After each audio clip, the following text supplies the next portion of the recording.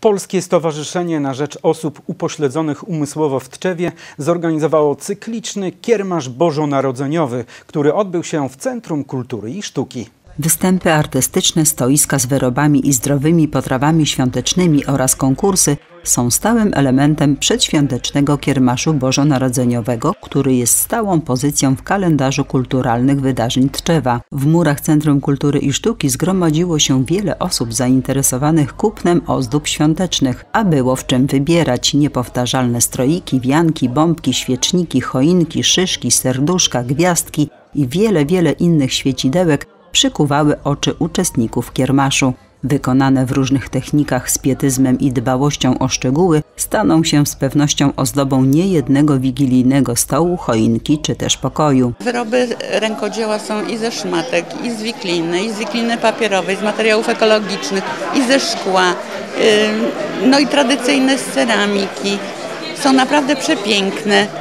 I mimo, że na przykład nasi terapeuci sami to robią, to biegają od stoiska do stoiska i kupują te wyroby też, bo są zachwyceni, one mają tyle wdzięku i są e, coraz lepiej wykonane technicznie, więc myślę, że już niedługo będziemy mogli kraczać na rynki pracy. W ramach kiermaszu rozstrzygnięto też konkurs, który z roku na rok coraz bardziej się rozwija. Bohaterem głównym tym razem jest piąta edycja konkursu Idą Święta. Znowu um, udało nam się zrobić konkurs na kartkę, na wyrób świąteczny i na szopki. Szopki są fantastyczne. Dostaliśmy propozycję, żeby nie, nie, nie, skończyła się na tym y, ta edycja konkursu, ale też, żeby te szopki powędrowały dalej y, do kościoła i potem y, wyjechały poza granicę Tczewa no, żeby brały udział dalej w konkursie. Mamy nadzieję, że się będzie dalej tak pięknie rozwijał. To jest e, naprawdę e, miło popatrzeć, jak z roku na rok te wyroby są lepsze, a kartki mają jak gdyby coraz więcej serca.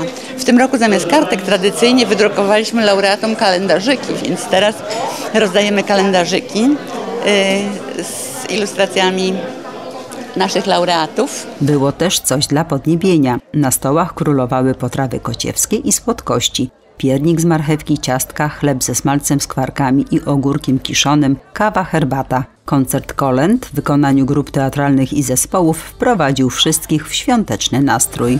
Hej,